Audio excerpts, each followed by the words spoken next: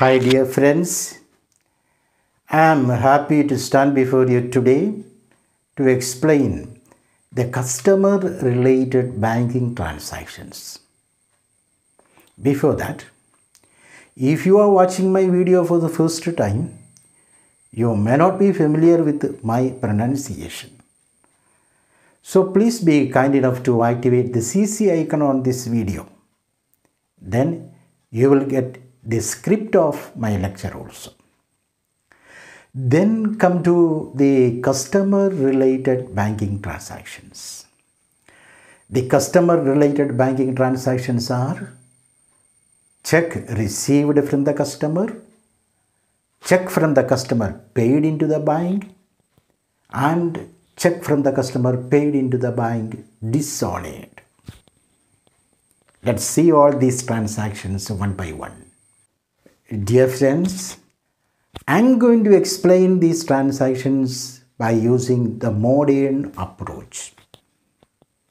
See, number one, check received from the customer.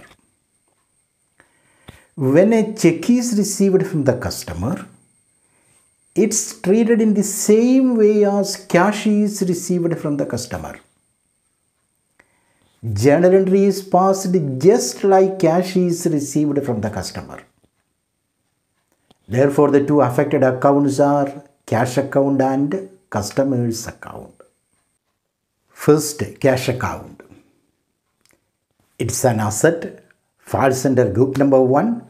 Rule of group number one is increase debited, decrease credited.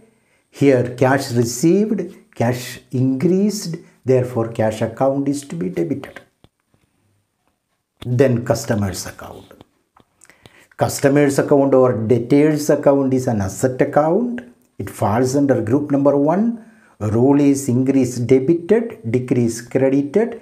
When customer gives cash or check, customer's account balance reduces. Therefore, customer's account is credited. Therefore, here the journal entry of transaction number one is cash account debtor, for example, 5000 to customer's account 5000. Then transaction number two. Check received from the customer paid into the bank. It is treated in the same way as cash is paid into the bank. Therefore, the two affected accounts are bank account and cash account. First, bank account. It's an asset account, falls under group number one. Rule is increase debited and decrease credited. Bank balance increased, therefore, bank account is to be debited. Then cash. It's an asset, falls under group number one. Rule is increase debited and decrease credited. Cash balance reduced, therefore, cash account is to be credited. Therefore, journal entry of transaction number 2 is bank account debtor 5000 to cash account 5000. Then number 3 check from the customer paid into the bank dishonored. Here the first good question is what's the meaning of the term dishonor?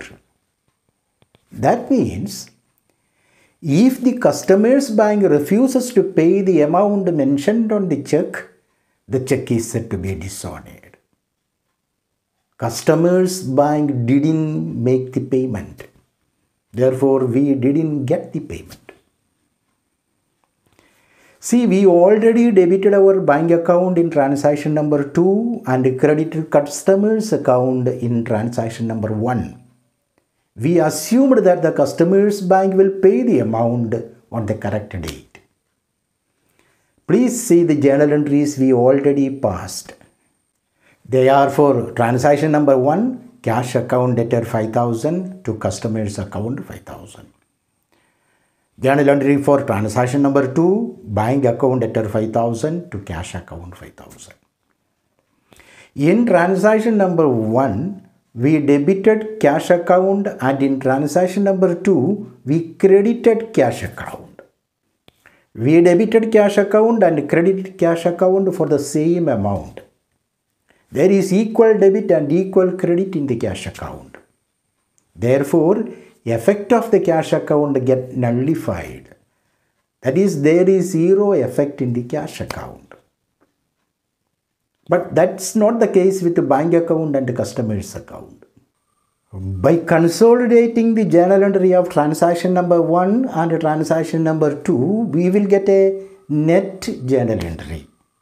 The net journal entry can be separated from the journal entries of transaction number 1 and transaction number 2 by nullifying the cash account like this.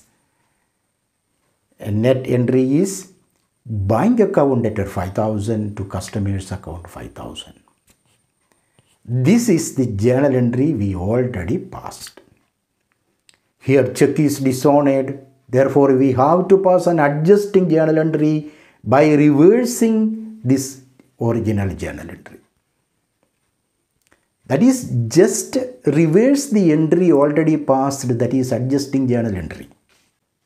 Here the adjusting journal entry is customer's account at 5000 to bank account 5000. Therefore, journal entry for check dishonored is the adjusting journal entry. This journal entry takes the case of receipt of check from the customer to its original position.